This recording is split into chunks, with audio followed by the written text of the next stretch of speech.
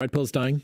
That's something that both of us have spent a little bit of time orbiting in one form or another, either you debating it or me getting abused by it. Mm-hmm. What do you think's happening with the red pill at the moment? Yeah, I think most stuff has like a probably like a two to four year shelf life for internet content, and I think it kind of came and it kind of went. Andrew Tate and the uh, the pre trial or pre indictment imprisonment probably hurt a bit because it took away a lot of the publicity. I think that the the nature of like the conversations for the red pill stuff I think was really bad. Um, I think the like the content strategy from a lot of the red pillars, I think was very subpar. Um, How so? Uh, like uh, for me, the way that I've stayed fresh and relevant for 15 years of content creation is because I'm always finding like new stuff to talk about or a new angle to kind of like hit something from, or like I'm kind of moving on with contemporary. Mis compas, sean bienvenidos nuevamente a un video más sobre el estudio del comportamiento y naturaleza femenina. Estos dos creadores de contenido son youtubers. Ambos critican y abordan temas relacionados con la red piel, ya que muchos de los temas que se abordan pueden resultar delicados o controversiales. Pueden llegar a audiencias más grandes porque le dicen a la mujer lo que quiere escuchar. Y por otro lado, una fuerte audiencia masculina que representa más del 80% de los hombres que también quieren que les digan lo que quieren escuchar. Y al final del día esto puede resultar bastante lucrativo. Simplemente vean a Destiny, es el caballero que tenemos en pantalla. Muchos de ustedes no lo van a reconocer porque normalmente tiene el cabello pintado de color rosa o verde. Yo les puedo afirmar que Destiny es un verdadero hombre, porque pasó por este proceso de deconstrucción. Tan es así que se casó con una creadora de contenido de la página azul, una mujer de moral distraída, se la llevó a vivir a Estados Unidos, le consiguió la green card, abrió su matrimonio, le pagaba la renta a ella y a su novio, una vez que consiguió lo que estaba buscando, le presentó los trámites de divorcio. Y ahora el 50% de su patrimonio le pertenece a esta mujer, es decir, 15 años de creación de contenido original como él menciona. Y lo más curioso de todo esto es que Rollo Tomasi, el padre de la Red Pill, predijo que su matrimonio no iba a durar más de un año, lo cual resultó cierto. Aún así, después de toda la basura que Destiny dijo de Rolo Tomasi, aún así está dispuesto a apoyarlo en este proceso. Y el otro creador de contenido que vemos en pantalla, lo último que ha hecho es repetir como perico lo que Rolo Tomasi dice dentro de su podcast. Y la realidad es que mientras sigan existiendo relaciones de pareja, la red piel nunca va a desaparecer. El clip completo se encuentra al final del video. Compas, lleguemos a los 100k. No olviden suscribirse, comentar y darle like. Así es que sin más, comencemos. Quieres hijos pero quieres ser stay at home wife, escucha porque así es como me convertí en stay at home wife a mis 23 años. Esto pasó gracias a que mi esposo tiene personalidad de golden retriever y ¿qué es eso? Un esposo con las siguientes cualidades. Primera, él no es controlador, no me dice qué hacer, a dónde ir, cómo vestirme, absolutamente nada. Segundo, no pone ningún tipo de responsabilidad de la casa o económica sobre mí, no espera que tenga que limpiar la casa simplemente por estar en casa. Tercero, te apoyan en cualquier sueño que tengas, cualquiera, no importa qué tan increíble parezca, el verte cumplir un sueño como cumplir sus propios sueños. Y la más importante de todas es que su ego no se rompe si estás cumpliendo tus sueños, haciendo más dinero que ellos o tal vez viajando más que ellos. Si tienes un esposo como estos, aprovecha y muéstrale tu plan de vida, tus metas y por qué quiere trabajar en ellas. No mereces menos y la satisfacción de cumplir tus sueños junto a él es inexplicable tomando en cuenta que la mujer es leal a sus emociones y que la mujer se enamora por lo que hace por su hombre, este matrimonio está destinado a fracasar. Esta mujer está aprovechando la oportunidad que se le está presentando y es totalmente válido. Pero en el momento en el que se le presenta una mejor oportunidad o llega un hombre que le pueda provocar una alta experiencia emocional, esta mujer va a abandonar su matrimonio. Y la mejor forma de agradecerle a su esposo todo lo que hace por ella es comparándolo con un perro. Ahí podemos notar la admiración y respeto que le tiene a su esposo o mejor dicho, esclavo. Continuemos. Los tacaños sueldo mínimo están chingui chingue que quieren mujeres empoderadas, que quieren mujeres que trabajen por lo suyo, que quieren adultas funcionales. Lo que no saben es que la mayoría de las interesadas trabajamos tanto en nosotras que no vamos a aceptar lo que ustedes nos quieren dar, que es lo mínimo. Compañía, tengo un perrito. Es lo único que tienes que aportar. Ya tengo un perrito. ¿Para qué te quiero a ti? Como interesada, claro que me importa el estatus económico de un hombre, pero no es lo único que me importa. Como lo he dicho en repetidas ocasiones, tienes que ser inteligente, detallista, atento, caballeroso, saber resolver. Y saber resolver no solamente es tener dinero, sino encontrar soluciones a problemas de manera fácil, eficaz y rápida. Porque si no, para mí, como lo he dicho en otras ocasiones, si solamente tienes dinero, pues eres un pendejo. Dinero y nada más. Y a mí los pendejos no me gustan.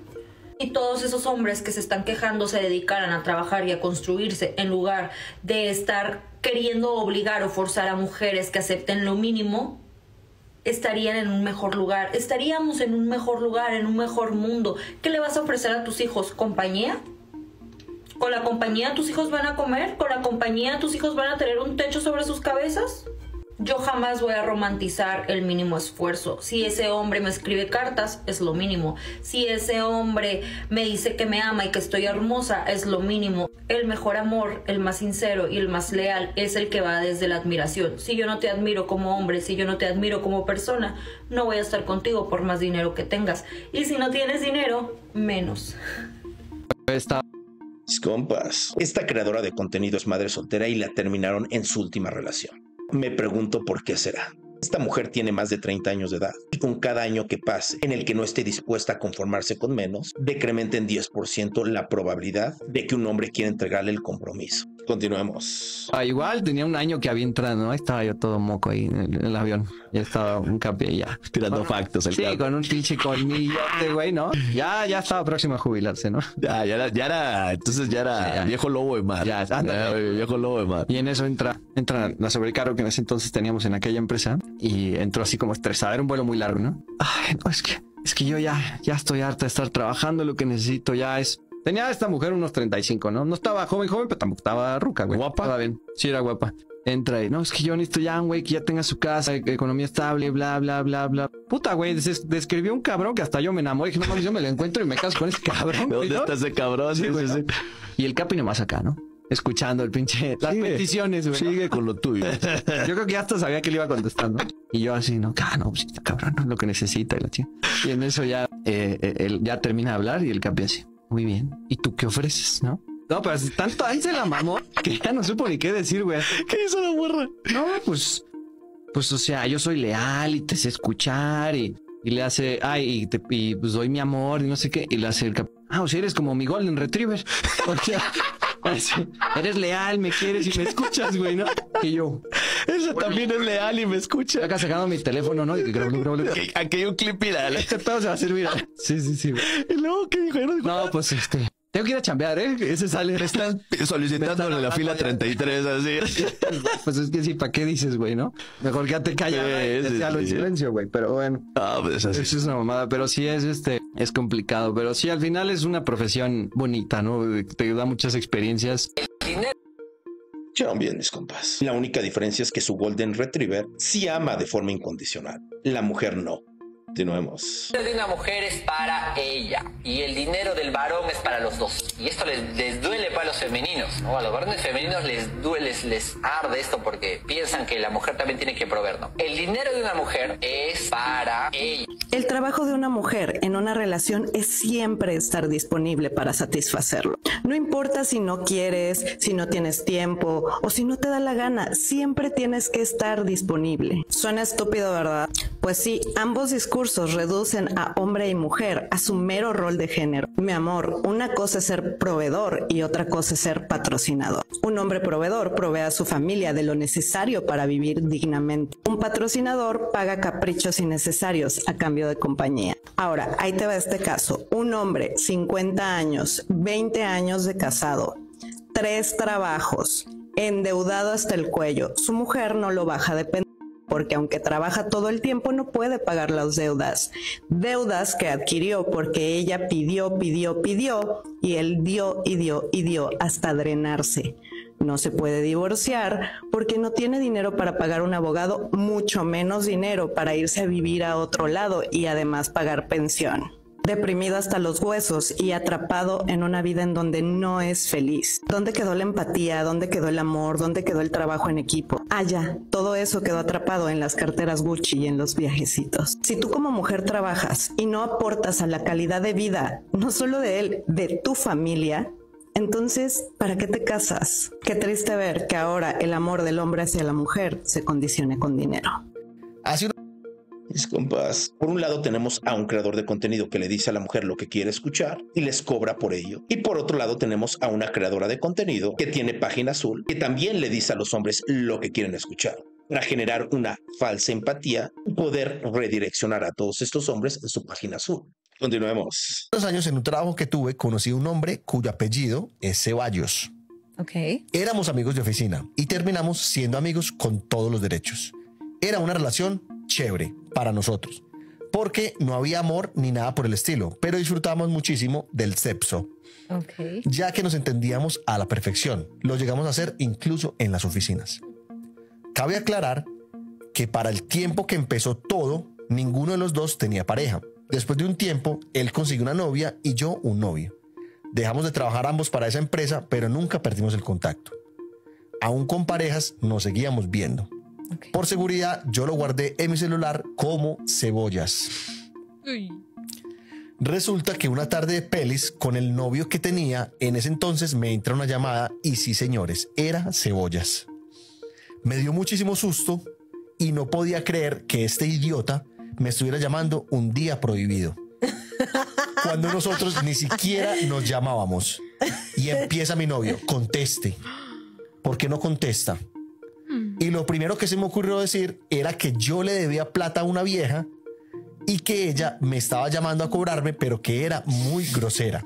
Ay, no. Él no me creyó nada. Ay. Él no me creyó nada, me arrebató el celular y lo contestó. Lo puso en altavoz y se quedó en silencio.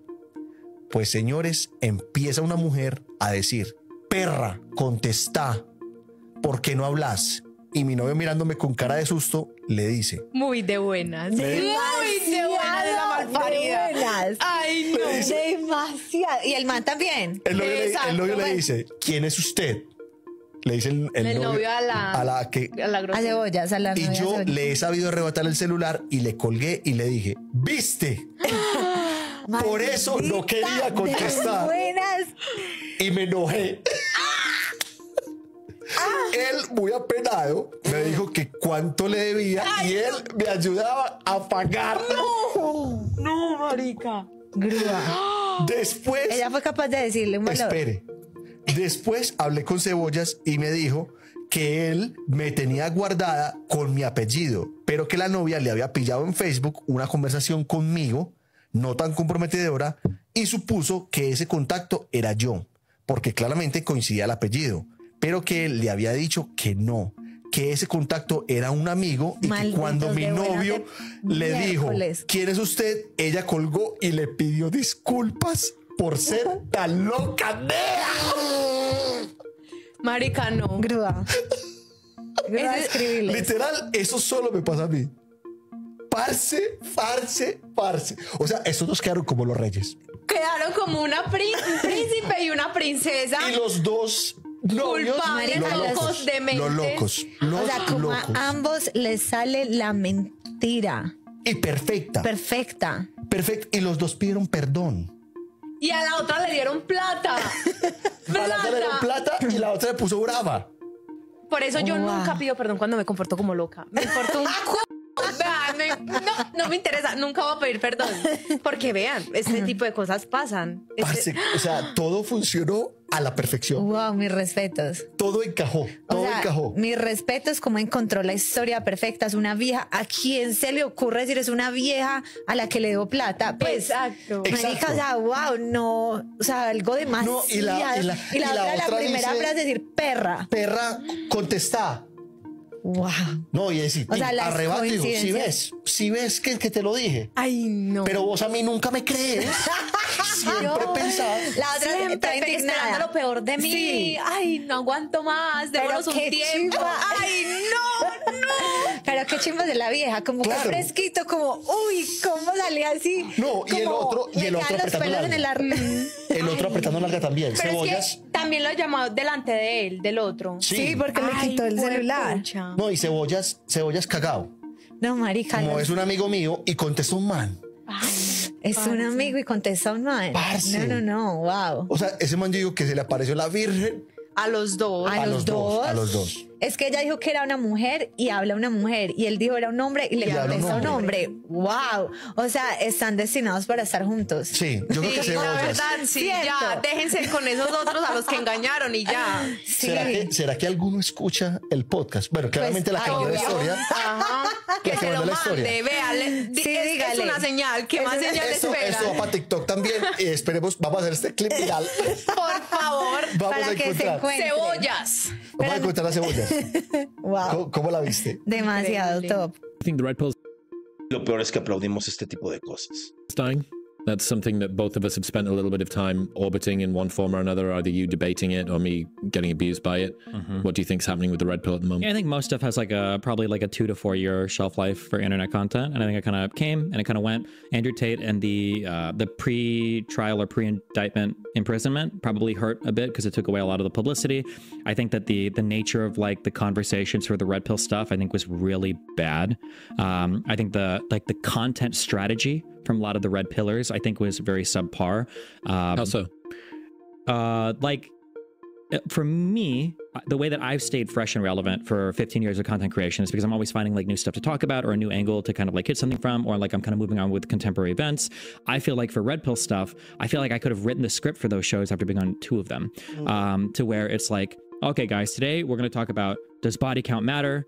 Do guys value you for the amount of money that you make? Do women fuck over men in divorce? Are men lonely because they're simps? It was like the same topics for like over a year, such that it became like a meme. Where when I would show up on a show, some of my fans would do like bingo cards of like, okay, well, when is the body count question coming up? Hypergamy. Or yeah, hyperg. Are women hypergamous? Bueno, mis compas, eso sería todo por el día de hoy. Espero que les haya gustado el video. No olviden suscribirse, comentar y darle like. Saludos cordiales.